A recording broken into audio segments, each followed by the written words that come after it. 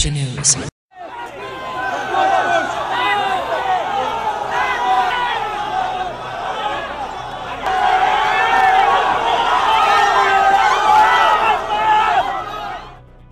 Dengan meyakinkan ahli-ahli AMNO bahawa Mahathir memerlukannya, Anwar dengan mudah menyingkirkan Gafar Baba sehingga beliau menyerah kalah dari persaingan timbalan Presiden AMNO. Tidak lama kemudian Mahathir pula menjadi sasarannya kerana lewat menyerahkan jawatan Perdana Menteri kepadanya. Tetapi Mahathir telah bertindak balas. Inilah cerita bahagian ketiga.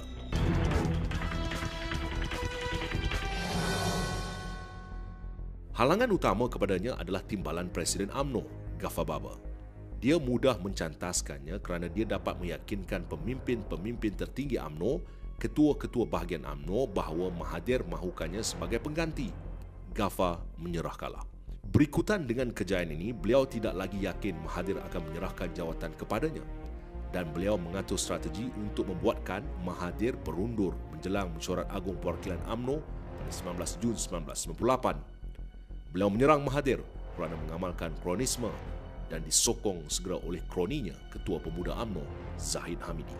Ini diikuti dengan Zahid Hamidi menyebarkan senarai projek dan perniagaan yang bersifat rasuah dengan nama anak Mahathir di atas sekali untuk menarik perhatian.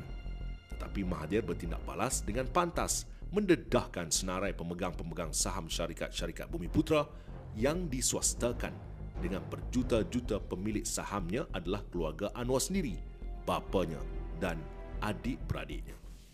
Tetapi Mahathir masih memberikan laluan kepada Anwar.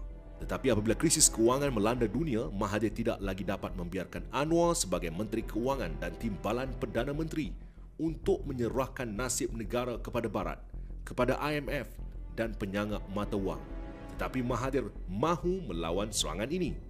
Namun demikian, Mahathir masih memberikan laluan selamat untuk Anwar meletakkan jawatan secara terhormat tetapi Anwar membantah dan memilih untuk melawan Mahathir kembali menjadikan jalan raya sebagai pentas perjuangan menjadi pelakon street theater atau seniman jalanan bagi mendapat sokongan Ramai orang menggunakan buku Yusuf Qaradawi. Uh, Anwar Ibrahim dan kawan-kawannya menggunakan buku itu round Malaysia mengatakan bahawa boleh revolusi. Kena faham Qaradawi memang memberi pandangan boleh ada perubahan. Itu pandangan beliau. Tapi sehingga sekarang bahawa Qaradawi tidak pernah mengeluarkan sepatah pun boleh ada revolusi di Qatar. Maka Qaradawi memberi hukum atau fatwa dia berdasarkan kepada masa dan tempat yang berkenaan. Sehingga sekarang ini mereka tidak berfaham bahawa perlu menukar kerajaan melalui revolusi atau kekerasan. Tidak. Jalan lama yang mahu diterokainya semula agak sukar kerana Anwar tidak lagi segagah dan sebersih dahulu. Perjuangan panjangnya telah penuh dengan penyelewengan. Dari berkiblat kepada Pakistan, Iraq dan Arab Saudi beralih kepada Jabatan Negara Amerika dan terpalit pula dengan rasuah, liwat, seks, liberalisme, pluralisme dan sebagainya. Tetapi apapun yang menimpanya, dia tetap tegak berdiri. Denial sindromnya luar biasa dan dia terus bersikap positif dalam keadaan keliling yang semakin negatif kepadanya. Jadi soalan sekarang, kita melihat di Malaysia ada satu gerakan yang bagi saya jelas dengan slogan eh, perubahan, bersih, demokrasi, kuasa rakyat pada hemat saya ini bukan daripada pemikiran ikhwan muslimin dan bukan daripada pemikiran jamaah islami dan bukan daripada pemikiran Dewan Dakwah Islamiah Indonesia yang dipimpin oleh bapa Dr. Muhammad Nasir rahimahullah. Dia bekas Perdana Menteri. Bukan.